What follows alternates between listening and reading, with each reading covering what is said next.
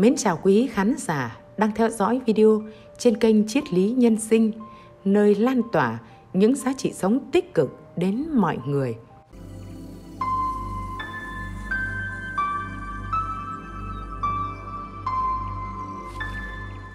Bạn thân mến, theo bạn, người phụ nữ hạnh phúc nhất là khi nào?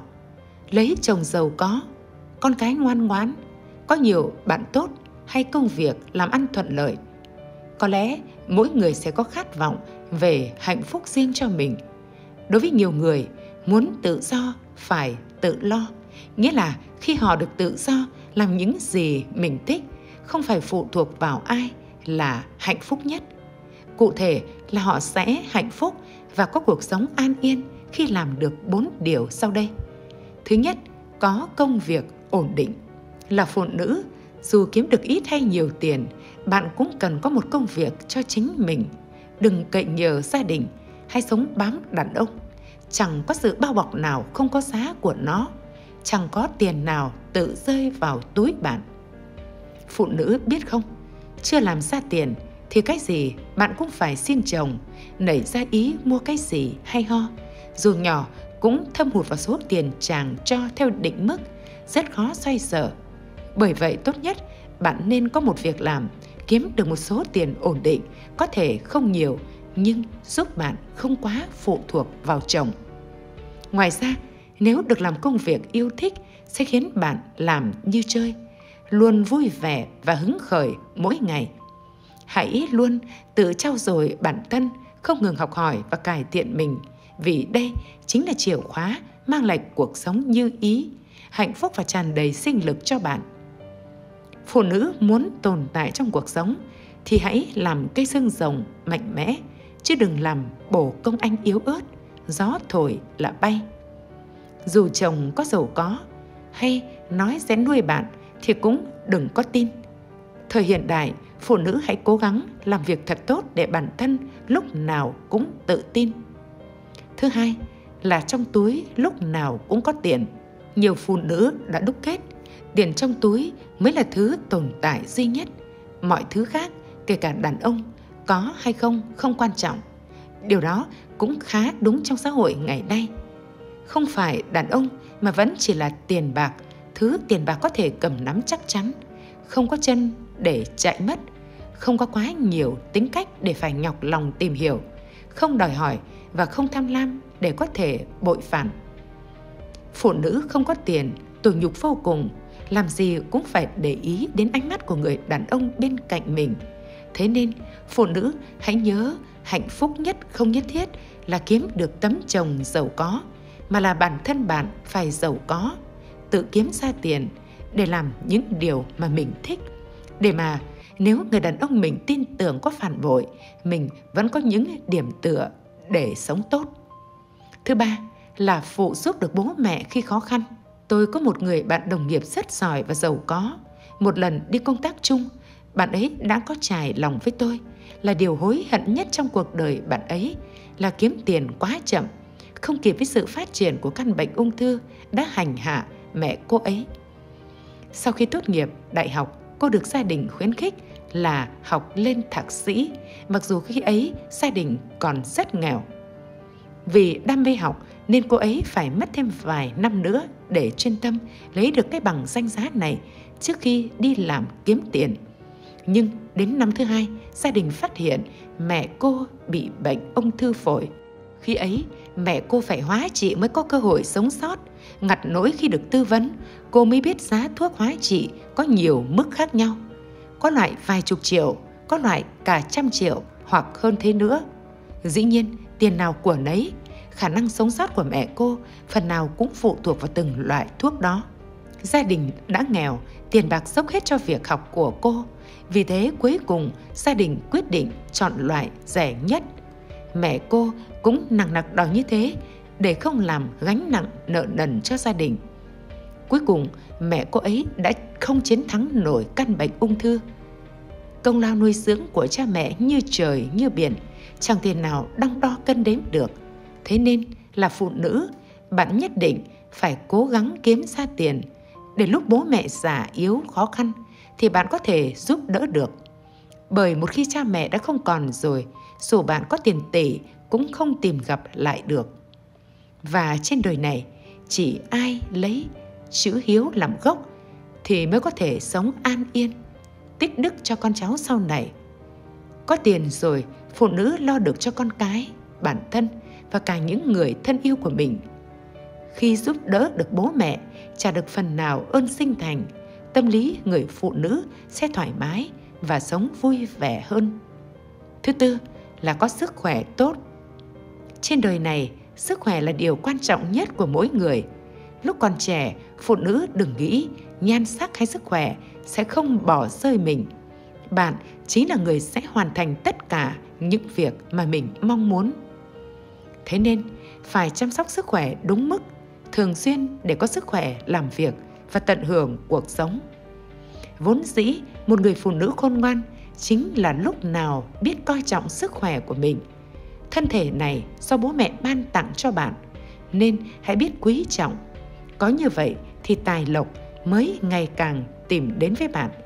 Hãy ăn uống, nghỉ ngơi khoa học, giữ tâm hồn thanh thản, tập thể dục thường xuyên để bệnh tật tránh xa. Nghe chồng nghỉ việc, tự mua dây buộc mình. Bạn thân mến, nhiều người hiện nay vẫn cho rằng phụ nữ hơn nhau ở tấm chồng. Lấy chồng giàu có, ở nhà chồng nuôi là hạnh phúc. Nhưng đừng mơ tưởng như thế bạn nhé. Người ta nói, nghe lời chồng mà nghỉ việc là tự lấy dây buộc mình đấy. Bạn hãy nghe lời khuyên của một người chị gái dành cho người em của mình về vấn đề này và xem có lý không nhé. Sau bữa tiệc mừng em rể lên trước khoảng một tháng, em gọi điện cho chị thông báo đã nộp đơn xin nghỉ việc. Chị thẳng thốt hỏi lý do, em trả lời ngắn gọn. Đã đến lúc em cần nghỉ ngơi rồi. Chừng ấy năm gồng gánh việc nhà lẫn việc cơ quan làm em quá mệt mỏi. Giờ chồng em có thể lo chu toàn chuyện kinh tế gia đình. Em phải sống cho ra sống chứ. Tội gì đầu tắt mặt tối mãi. Thế em đã hỏi ý chồng chưa? Chị vội vàng hỏi. Em bảo anh ấy đồng ý chị ạ. Nghe em nói vậy, trong lòng chị gợn lên nhiều nỗi băn khoăn, hình như mừng thì ít mà lo thì nhiều. Công việc của em là mơ ước của nhiều người, không quá vất vả mà lương bổng khá. Em mới ngoài 40 tuổi, đang ở độ tuổi chín muồi để phấn đấu cho sự nghiệp đang lên. Vậy mà đột nhiên em bỏ ngang chỉ với lý do đơn giản như thế.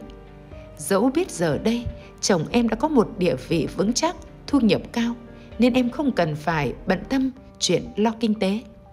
Nhưng đời người tốt nay xấu mai, ai biết được trước tương lai sẽ ra sao mà vội vàng từ bỏ. Công việc lẫn cuộc sống, đâu thuận buồm xuôi gió mãi. Lỡ mai này sóng gió nổi lên, một tay lái liệu có giữ vững được con thuyền. Trong gia đình, khi trách nhiệm nghiêng về một phía, sẽ kéo theo nhiều hệ lụy. Có thể thời gian đầu em sẽ thấy thoải mái vì rảnh rỗi, nhưng lâu dần em bắt đầu cảm nhận được phụ nữ chỉ ở nhà lo cơm nước thiệt thòi đến chừng nào. Những mối quan hệ giao tiếp sẽ thu hẹp dần vì ít khi gặp gỡ trò chuyện không thoải mái, vì chẳng còn chung vấn đề quan tâm. Dần dần, em sẽ lơi là việc chăm sóc bản thân với lý do ở nhà thôi mà cần gì phải đẹp. Chưa kể em không thể theo kịp xu thế mới của xã hội nếu chỉ du rú ở nhà. Và rồi ánh mắt chồng nhìn em sẽ dần thay đổi, sức hấp dẫn cuốn hút sẽ phôi phai dần. Chưa kể không đi làm đồng nghĩa với việc không có tiền, mua gì cũng phải suy trước nghĩ sau vì mình đang tiêu tiền của người khác. Em đừng nghĩ ở nhà mình nhàn hạ. Lúc em đi làm, chồng em có thể chia sẻ cảm thông đôi chút, còn em nghỉ hẳn. Mọi chuyện đều phó mặc cho em. Vất vả là vậy, nhưng hiếm khi được ghi nhận. Chưa kịp nấu cơm lau nhà đã bị rằn rỗi Con không ngoan thì trách nhiệm đổ cho em. Có thể giờ đây chồng ủng hộ em nghỉ việc nhưng tâm tính con người thay đổi theo thời gian. Khi em phụ thuộc vào kinh tế thì ý kiến của em trong mọi vấn đề sẽ giảm sức nặng, kể cả trong mắt những đứa con.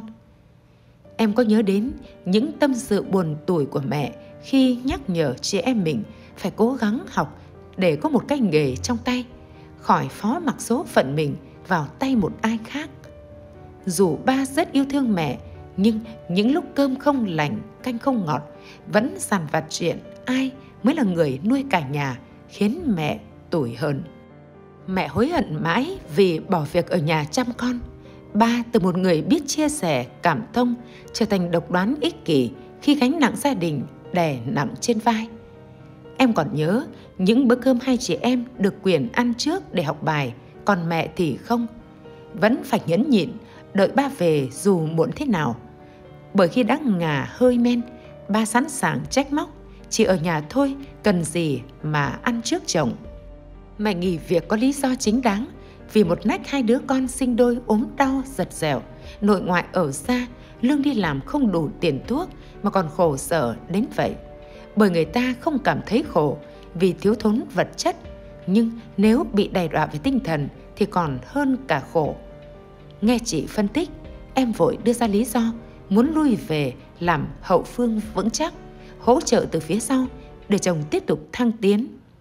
Chỉ thấy đó không phải là ý nghĩ thấu đáo, bởi ngần ấy năm em đi làm, chồng vẫn có thể phát triển sự nghiệp. Liệu em ở nhà có trợ giúp được gì thêm khi con cái đã lớn? Chưa kể, điều đó còn có thể ảnh hưởng đến hình ảnh của em trong mắt đồng nghiệp, bạn bè, đối tác của chồng. Chị nghĩ thời gian này rất thích hợp để em tập trung phát triển sự nghiệp của bản thân. Theo chị, điều kiện để gia đình hạnh phúc chính là sự bình đẳng giữa vợ và chồng về cả công việc, tình cảm, trách nhiệm và nghĩa vụ, bởi hai người luôn phải đồng hành trong mọi việc.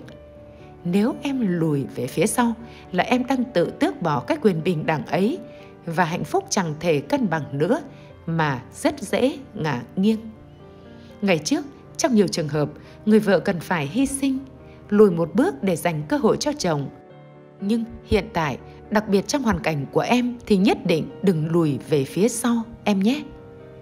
Bạn thân mến, để có được cuộc sống tự do tự tại, yên ổn khi về già thì bạn hãy làm chủ lấy cuộc sống của mình về mọi mặt bạn nhé. Đừng đặt cuộc sống của mình vào sự quyết định của người khác vì nó sẽ không đảm bảo cho bạn được sự bình yên thật sự. Đến đây thì thời lượng của triết lý nhân sinh cũng xin được tạm dừng. Chúng tôi xin kính chào và hẹn gặp lại.